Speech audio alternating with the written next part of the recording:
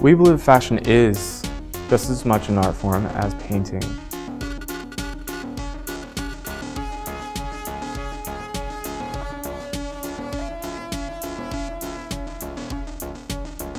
Basically, our idea of what fashion forward would be, the scenes are starting to change again.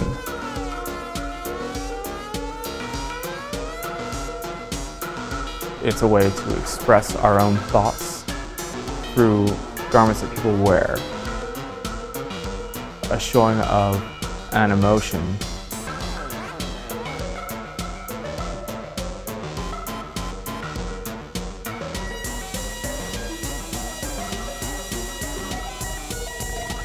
It gives a sense of a different sort of ideology behind the thought of fashion.